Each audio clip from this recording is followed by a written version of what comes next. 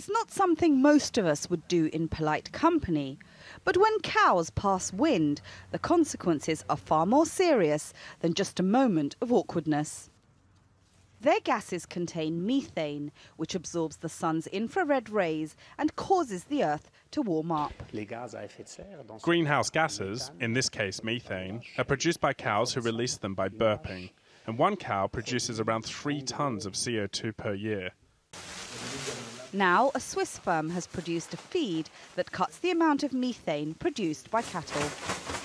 It's a special blend of plant extracts, herbs and spices that cows can digest quickly and easily. With our certified product, we reduce emissions by 10% per animal, 15% per kilo of milk produced. So if we consider each individual animal, the 10% equals reductions of 300 kilos or three tenths of a ton per cow every year. Methane is produced by a category of livestock known as ruminants. They include cattle, goats, and sheep. Like all cattle, this cow is a herbivore.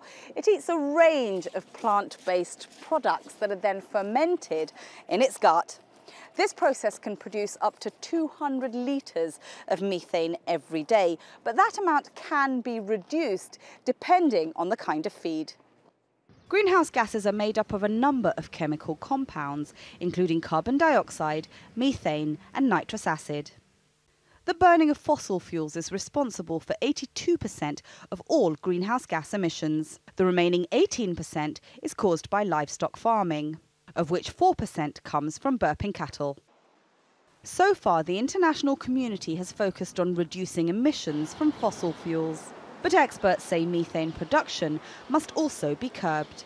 Most of the world's land use is really around livestock on pasture on the world's grasslands, and they can drive uh, the expansion of meat production, drives the expansion of livestock around the world, and that expansion of livestock can also impact on deforestation. Precisely why discussions about livestock farming are more than just hot air.